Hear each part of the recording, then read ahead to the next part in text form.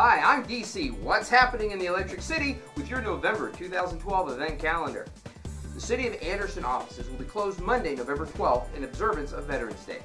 Trash and yard debris for Monday will be serviced on Friday, November the 9th. Garbage carts for Monday will be serviced on Tuesday, November 13th. All other routes will be serviced on their regular day. For questions, call the City of Anderson Sanitation Department at 864 231 2246. All city offices will be closed on November 22nd and 23rd for Thanksgiving holidays to give city employees time to enjoy their families. The holiday walk and tree lighting in the courthouse square will be Friday night, November 30th at 6 p.m.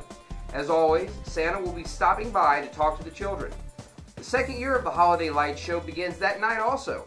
Drive through downtown with your radio tuned into 95.1 and be amazed at the synchronized light display. On Saturday, December 1st, the downtown merchants will have their open house to get your gift giving off to a great start. And there's no better way to kick off the holidays than at the Christmas parade on Sunday, December 2nd at 3 p.m. If you'd like to submit a float for the parade, get your entry form online and submit it by November 15th.